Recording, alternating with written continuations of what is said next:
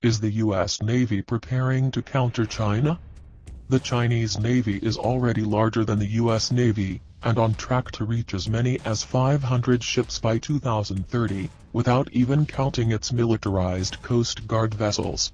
That means the U.S. Navy could find itself spread too thin in the event that concentrated Chinese maritime forces in the Pacific were to mount some kind of offensive or aggressive military action the U.S. Navy places a massive priority upon operating forward in vital hotspots throughout the world, and while the Pentagon has been increasing its number of naval assets in the Pacific, its forces are dispersed throughout the world to include the Baltic Sea, Black Sea, Mediterranean Sea, Indian Ocean and the Persian Gulf.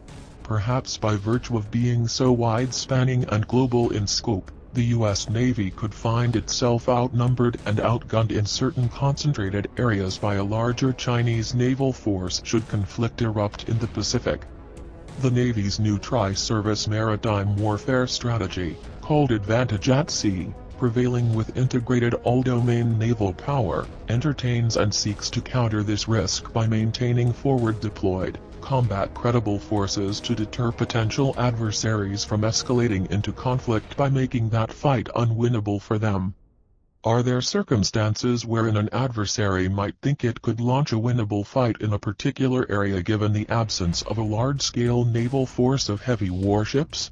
This may be part of why, at least as of the end of last year, the Navy still envisioned a 500-ship Navy as an aim point or goal toward which to strive. This would include a heavy mix of manned and unmanned vessels able to disperse yet network effectively and rely upon long-range sensors and weapons to exact any kind of needed warfare operations. However, will the Navy maintain its plan to expand to 500 or more ships as quickly as possible to keep pace with China's intent to hit that number within a decade? Perhaps the Biden administration will adjust the aim point to a smaller size as was the case during the Obama years. If so, could the Navy find itself spread way too thin to respond effectively in the event that larger numbers of concentrated enemy forces move decisively to launch large-scale attacks or take over an area? The tri-service strategy does say that, while China has well-known expansionist global ambitions, PLA Navy forces are very concentrated in the Pacific, a circumstance which presents the risk of U.S. forces being largely outnumbered in any kind of maritime engagement. However, if properly fortified by a large, multi-domain network of meshed combat nodes such as surveillance planes, submarines, aerial, surface and undersea drones, could a smaller, more dispersed U.S. naval force succeed in deterring or stopping any kind of Chinese offensive in the Pacific?